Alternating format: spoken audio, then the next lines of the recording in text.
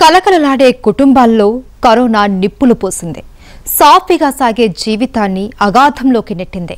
మాటలు చాలని దుఃఖం తీరని వేదన కరోనా బాధిత కుటుంబాల్ని తేరుకోకుండా చేస్తున్నాయి. కరోనాను ఎదుర్కోవడానికే నానా కష్టాలు పడుతుంటే దానికి బ్లాక్ ఫంగస్ తోడై మరింత సమస్యగా మారింది. వైరస్ నుంచి బయటపడ్డా మళ్ళీ ఈ కొత్త కష్టాన్ని తట్టుకునే శక్తి లేక అనేక మంది బలవుతున్నారు. తెలుగు రాష్ట్రాల్లో అనేక కుటుంబాల్లో బ్లాక్ ఫంగస్ చిచ్చుపెట్టింది కుటుంబాలు ఒక్క వారంలోనే చిన్నాభిన్నమయ్యాయి. భువనగిరి జిల్లా మోత్కూరులో ఈ కుటుంబం పరిస్థితి అలాగే మారింది. తండ్రి బ్లాక్ ఫంగస్కు బలయ్యాడు. తల్లి కరోనా బారిన పడి ఏమీ చేయలేని పరిస్థితికి చేరుకుంది. అంతంత మాత్రంగా ఉన్న కుటుంబ ఆర్థిక పరిస్థితి అయోమయంగా మారింది. దీంతో ఇద్దరు పిల్లలు దిక్కుతోచని పరిస్థితిలో పడ్డారు. యాదాద్రి భువనగిరి జిల్లా మోత్కూరు మున్సిపాలిటీ పరిధిలోని సుందరయ్య కాలనీ ఇది. ఇక్కడ రావుల వెంకన్న రేణుక దంపతులు. వాళ్ళకు ఇద్దరు పిల్లలు గణేష్ తేజ. వెంకన్న పాత ఇనుప సామాను బేరం చేస్తూ పిల్లలను చదివించుకుంటూ బతుకుబండి లాగించేవాడు. మాయదారి కరోనా ఒక్కసారిగా పరిస్థితిని మార్చేసింది. వెంకన్న గత నెలలో అనారోగ్యానికి గురయ్యాడు. టెస్టు చేస్తే కరోనా పాజిటివ్ అని తేలింది. వెంకన్నకు కరోనా పాజిటివ్ రావడమే కాదు ఆ తర్వాత కళ్ళకు బ్లాక్ ఫంగస్ వచ్చింది. చికిత్స కోసం గాంధీ ఆసుపత్రికి తరలించారు. అక్కడే పరిస్థితి విషమించి మే ఇరవై ఎనిమిదిన చనిపోయాడు. ఆఖరికి మృతదేహాన్ని సొంతూరుకి కూడా తీసుకురాలేకపోయారు. హైదరాబాద్లోనే అంత్యక్రియలు నిర్వహించారు. వెంకన్న అకస్మాత్తుగా చనిపోవడంతో ఆ కుటుంబానికి కష్టాలు మొదలయ్యాయి. పోయి బేరం చేసుకొని ఆడ అమ్ముకొని పిల్లగాళ్ళకి ఇంత కట్టుకొని వచ్చేది బడి తోలిచ్చేది అడి తోలిచ్చేది ఇటు తోలిచ్చేది.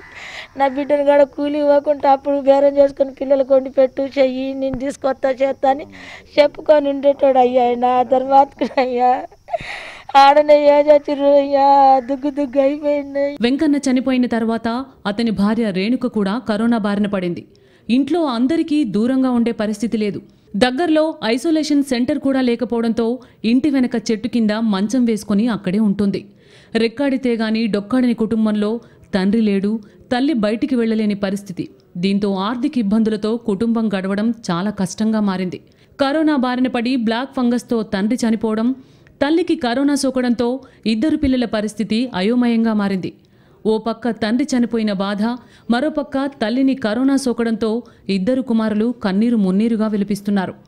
గణేష్ పదో తరగతి తేజ ఏడో తరగతి చదువుతున్నారు.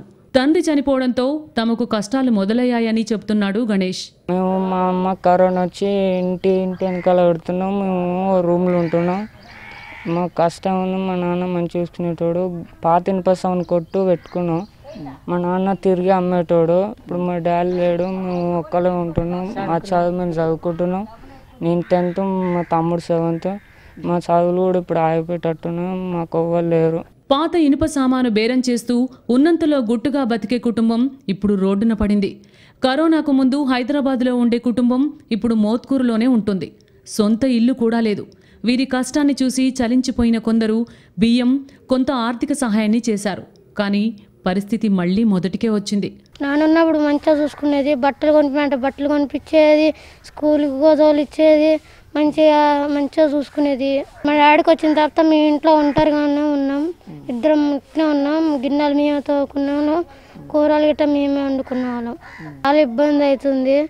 మేము అయితే అనంత పిల్లలకు ఇంటుంటున్నాం. మా డాడీ చనిపోవడం వల్ల మేము చాలా ఇబ్బంది ఎదుర్కోవాల్సి వస్తుంది. Corona black fungus. ఒకదాని తర్వాత ఒకటి విరుచుకుపడడంతో వెంకన్న కుటుంబం మొత్తం రోడ్డున పడింది. తమ తండ్రి చనిపోవడంతో తమ పరిస్థితి ఏమిటో అర్థం కావడం లేదు అంటున్నారు పిల్లలు గణేష్ తేజ. తల్లి కోలుకునేదెప్పుడో తమ కుటుంబానికి ఆసరా ఎలా దొరుకుతుందో అని అర్థం కాని పరిస్థితిలో ఇద్దరు పిల్లలు ఉన్నారు.